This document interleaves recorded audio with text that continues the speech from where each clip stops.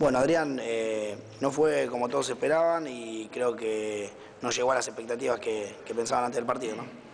No, sobre todo por, por el resultado, que es lo que, lo que en definitiva estamos, estamos tratando de buscar, ¿no? tener buenos resultados de visitante si es posible también. Pero bueno, la producción del equipo creo que no fue eh, del todo buena a comparación de otros partidos, entonces eso nos dejó un poquito preocupado, pero este, si hacemos la autocrítica que tenemos que hacer eh, y nos damos cuenta de dónde nos equivocamos, este, creo que lo podemos corregir rápido.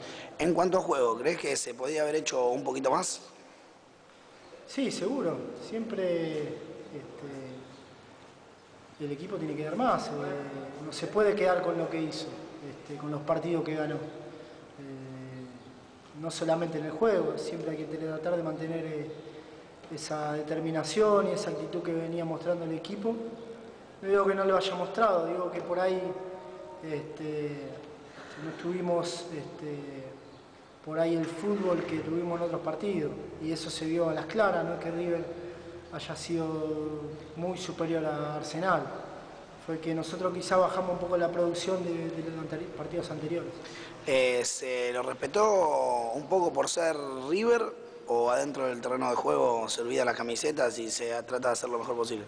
No, siempre se respeta a los rivales, independientemente de la camiseta que tengan, porque enfrente tenés jugadores profesionales de, mucha característica, este, pero creo que no pasó por ahí, pasó porque el equipo no pudo tener, como dije recién, una, producción de fútbol, un, buen circuito de juego, este, y eso hizo de que perdamos la pelota, de que hagamos un equipo o un partido demasiado dinámico y eso favoreció a River que que a mi entender eh, no tuvo gran fútbol, pero tuvo este, esa virtud de ir siempre disputar el medio campo, ganarlo y salir rápido para, lastimar, y eso nosotros no lo tuvimos.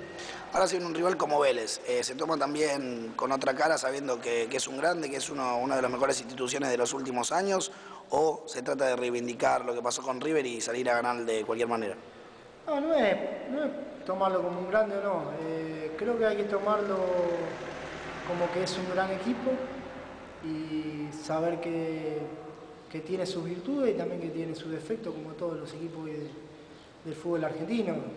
La diferencia que hace por ahí es que por ahí con estudiantes, Vélez es uno de los equipos más parejos, más regular de los últimos tiempos. Entonces, cuando un equipo consigue eso, este, hay que estar atento y creo que tenemos que salir con esa concentración y con la, con la productividad que tuvimos por ahí en otros partidos, ¿no? acá de local o mismo de visitante, donde hicimos buenos partidos en todos los sectores del campo. Y después olvidarse que es Vélez y, tratar de levantar el buen rendimiento del equipo.